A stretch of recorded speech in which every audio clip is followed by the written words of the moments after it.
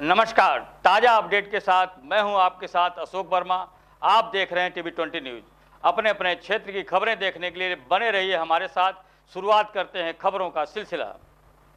Mirzapur SP के निर्देश पर जनपद में अपराध व अपराधियों पर नियंत्रण हेतु चलाए जा रहे अभियान के तहत मिर्जापुर पुलिस ने गिरोहबंद अधिनियम के अंतर्गत अपराध से अर्जित चौदह लाख अस्सी हज़ार की संपत्ति को जब्त की है। बताया जा रहा है कि एक ये पेशेवर, शराब तस्कर गिरोह के सरगना की संपत्ति थी जिसको मिर्जापुर पुलिस ने जब्त की है। तो वही अगर बात बलिया पुलिस की की जाए तो बलिया पुलिस ने भी आज दो वाहन चोर को गिरफ़्तार कर उसके कब्जे से दो मोटरसाइकिलें, दो अदद अवैध तमंचा, दो अदद ज़िंदा कारतूस व 315 बोर तथा लैपटॉप चोरी के बारह सौ रुपये नकद बरामद किए हैं।